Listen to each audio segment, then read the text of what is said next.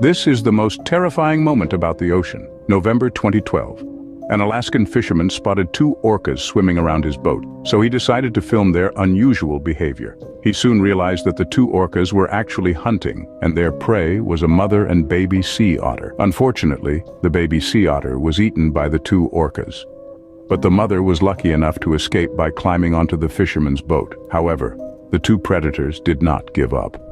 They continued to wait around the boat, waiting for an opportunity to kill the mother otter as well. Seeing this, the fisherman quickly drove the boat away and helped the sea otter escape.